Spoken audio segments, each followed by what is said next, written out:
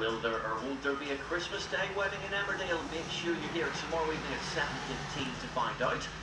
It's going to be a memorable Christmas for Sally and Jenny in an all-alone Coronation Street at 8.15. And that's followed by the feature-length story of the most iconic Olympic duo of their generation, Torvill and Dean, tomorrow night at 9.15. Next tonight, latest ITV News.